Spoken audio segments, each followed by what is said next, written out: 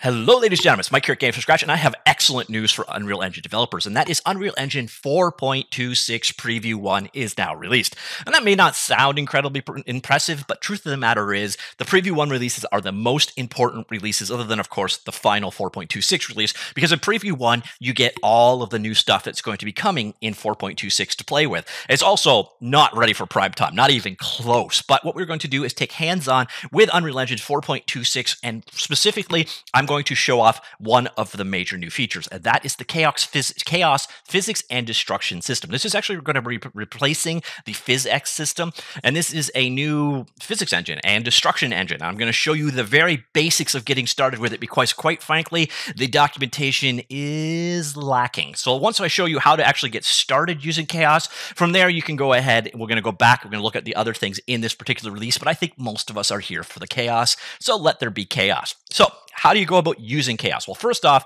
and this should be by default, previously in 4.24, 2.3, and 2.5, I know I did that in a weird order, you had to compile Unreal Engine from source. Now, thankfully, with this release, uh, it's actually available in here as plugins. So you should find several different plugins and they should all already be enabled.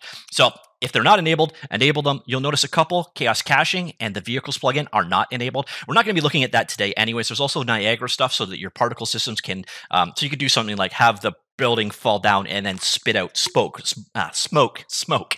Uh, for example, also got a cloth editor and cloth physics. We're not going to be looking at any of that today. We're going to look at creating probably the most simple chaos scene you could ever do. And that's because, frankly, there are no tutorials showing you how to do this. So I'm going to show you that and this is where we're going to go from. All right, so first thing you're going to need to do is create some chaos. So let's create chaos. So first thing, come in here, physics, and go to chaos solver. And really, that's all you need to do. There's a bunch of settings for this guy, but yeah.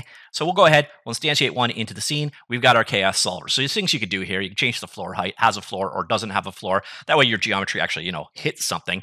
Um, you've got things you can change how many iterations the solver is going to go through. This is basically your simulation master. But now that we've got that, let's go ahead and create some geometry. So we got our geometry and let's drop it in the world like so. All right, so there is our geometry, there is our solver, and now what we need to do is go to modes and go to fracture or hit shift F6. And then you'll see we got this nice little toolbar up here. Select your geometry, whatever you're going to be exploding or fracturing, select it up here, and then go ahead and do a new plus.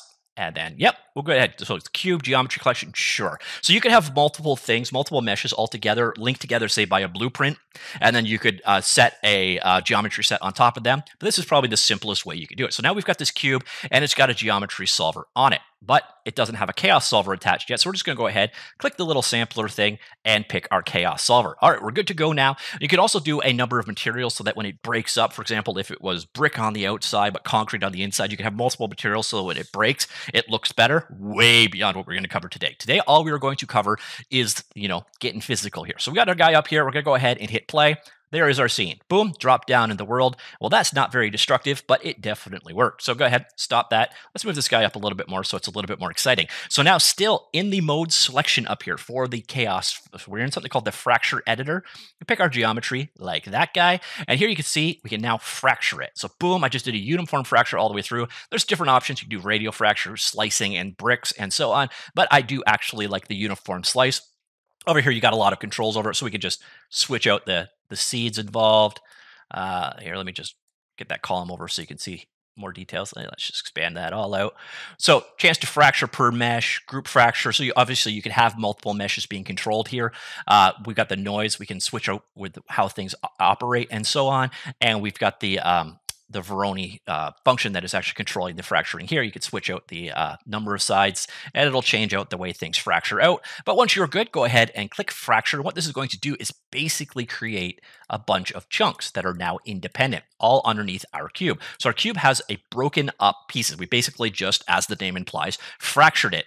And uh, yeah, we're done. That's it. That's all you need to do. So now, boom, and Done. All right, so that is the world's quickest and simplest uh, chaos tutorial you're ever going to find, but that is the absolute basics of working with uh, the new chaos system, the new destructive system. And as you can see, it's actually quite simple. Now, obviously, you're going to want to do things like have it look good, have different materials on the inside, and so on.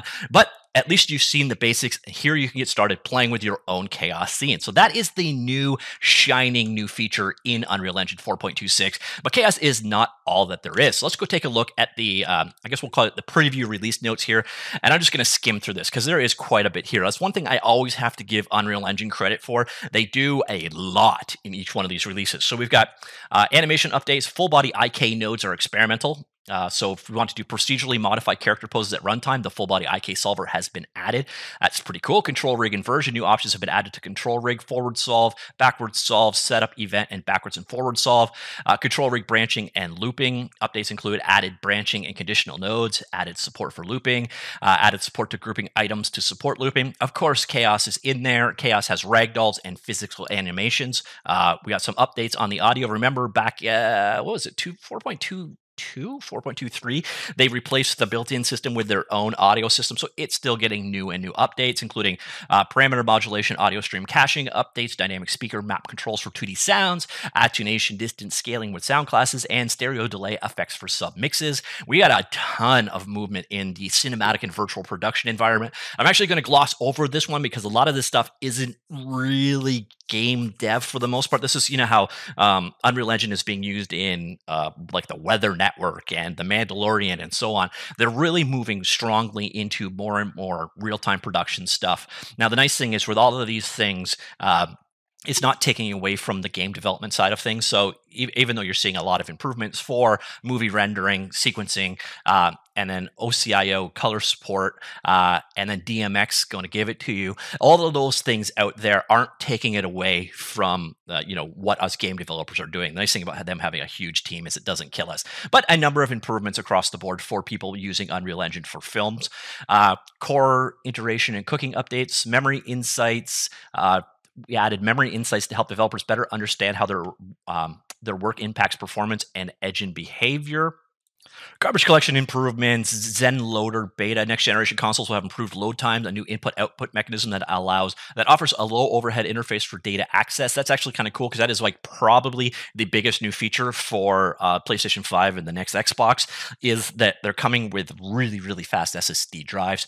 Uh, Datasmith updates. Again, Datasmith generally isn't used for game development. This is more for people doing uh, previs and engineering type work, uh, but we have had improvements there. USD uh, stage improvement improvements, LiDAR improvements, LiDAR being a 3D scanning technology. So, again, not really that important for game developers. Uh, enhanced input experimental, a streamlined but highly configurable input handling system, runtime remapping, and um, complex customizable trigger rules. That one is going to be quite nice in the end. It's basically a new input handling system, but it's experimental, so very, very early and may not make the cut. This one's actually kind of nice too. For mobile, you got desktop forward and deferred rendering for mobile. It's in beta for iOS and experimental for Android. Um, so oh, and that's only for Androids using Vulkan. Uh, Windows Metal Shader Compiler, so Windows users can now compile shaders for like iOS projects. So, assuming that uh, Unreal Engine continues to be supported on iOS, screw you, Apple. Uh, we got iOS TV, uh, gamepad support, uh, mobile rendering improvements, uh, several of them there. So basically, mobile rendering just got better, and you've got forward and deferred rendering from desktop on mobile, which could be really nice going forward. But again, experimental at this point in time. PhysX, we kind of got into some of that. I showed you how this stuff works, but the complete new physics system in this particular update. So there's going to be a lot of physicsy stuff. And of course, there's a vehicle system in there that's experimental, and then there's a cloth system in there that is ultimately replacing the PhysX cloth. Um, we got uh, volumetric cloud actors provide a material driven real time cloud rendering system and sky atmosphere improvements. Uh, so it was added in 4.23 and they just kind of keep making it better. All the details that they've added to their sky system here. Real time skylight capture now has real time capture mode when set to movable. It, uh, it improves on and is faster than the sky recapture blueprint node by performing all computations on the GPU without any CPU readback. Um, and we've got the Sun Sky plugin actor has been updated to take advantage of the new stuff that has happened there. Uh, water systems. So this one kind of is a little bit funny. I did a thing on the last giveaway. There's a UIWS system that they put in place. Um, that was a give one of their giveaways last month. It was like three hundred fifty dollars or four hundred dollars. Allows you to do things like create streams and flows of bodies of water that are physically interactive and so on.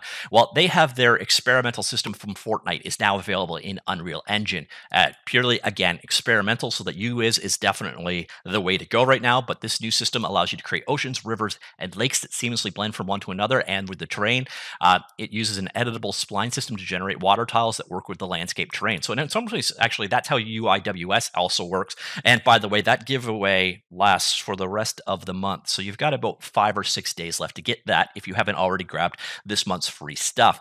Uh, so we've also got you have to enable the water and landmass plugin at the same time. The hair and fur simulations were improved.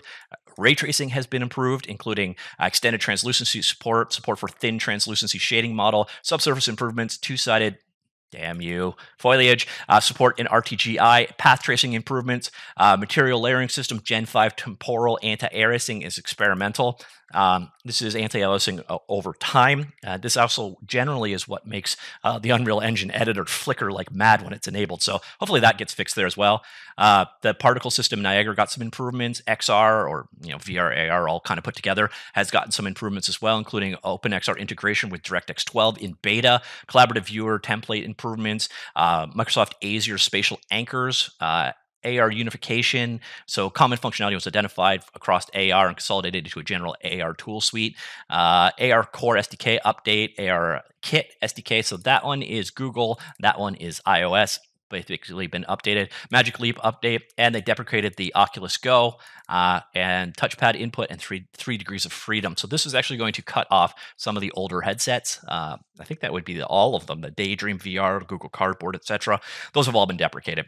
And then finally, desktop Linux, there was a quality of life update. Developers can now uh, build the Linux SDK using Clang or CLang uh, 10.0.1 release. So that is it. Uh, pretty, pretty good update on the whole. Again, a lot of stuff in the middle here, the cinematic stuff and the Datasmith stuff, you guys aren't going to really care about. Even if you take that out, though, there is a ton of new stuff in here to enjoy.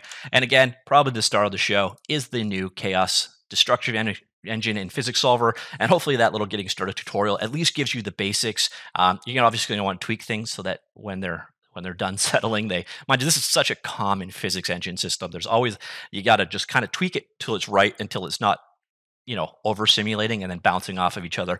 So anyways that is unreal engine 4.26 preview 1 gives us a good idea of what to expect in that release. Also we got a brand new swath of experimental stuff. So some interesting stuff in there for sure. But the biggest thing, at least in my opinion, Chaos is now live. So you want to check it out. No more having to build the edge from scratch. Uh, do check that out and let me know what you think. And I will talk to you all later. Goodbye.